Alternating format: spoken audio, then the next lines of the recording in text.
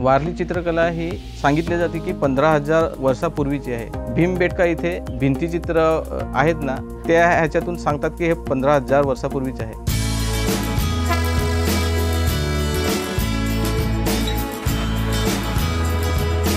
माझं नाव संजय पराड मी एक वारली कलाकार आहे.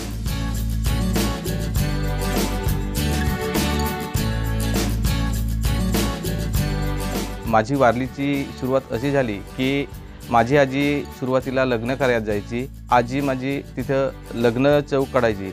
आमच्या ह्याच्यात जो लग्न चौक काढतात तो लग्न चौक काढत नाही तर बाया माणसात आम्ही चौक लिहितो. म्हणजे एक लिपी आहे असं म्हणता येईल. मानवाची अगोदर भाषा आणि ते बोलत नव्हते. म्हणून ते कुठला पण प्रसंग दर्शायचे ते.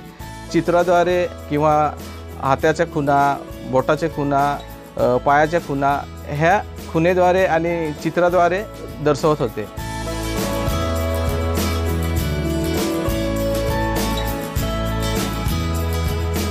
वारली चित्र हे आम्ही कुडार काढतो पण कुडार काढण्याअगोदर कुड हा शेणाने सारून घेतो. दुसऱ्या दिवशी मग ते लाल माती कुडाला लावून तांदूळ हा आम्ही भिजवतो भिजवून नंतर मग तो उन्हात सुकवतो.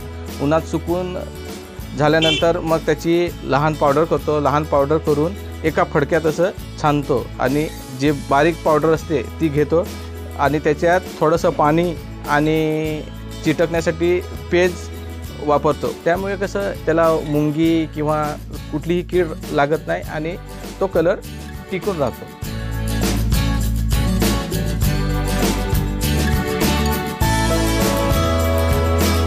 हे चित्र आता नुसतं कॅनव्हासवरच नाही तर लाकडाच्या वस्तू झाल्या काचेच्या वस्तू झाल्या कपडे झाले ह्या सर्व गोष्टीवर आता हे वारली चित्र आलं आहे जशी त्या चित्रात मेहनत त्यानुसार त्या चित्राची किंमत ठरवली जाते. हे आमचं चित्र हे एक पवित्र असल्यामुळे आम्ही नाही त्या ठिकाणी हे चित्र काढत नाही.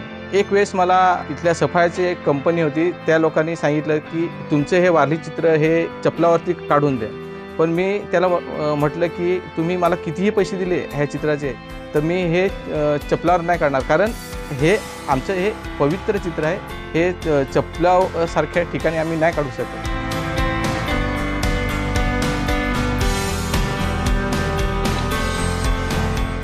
माझी मुलंही आता मला बघून बघून एक हॉबी म्हणून चित्र तयार करत आहे. पण आता मी पुढे सांगू नाही शकत की ती ही पुढे ही कला ती टिकवतील की नाही टिकवतील पण मी त्यांना सांगेन की ही कला टिकवण्याचा प्रयत्न करा असं.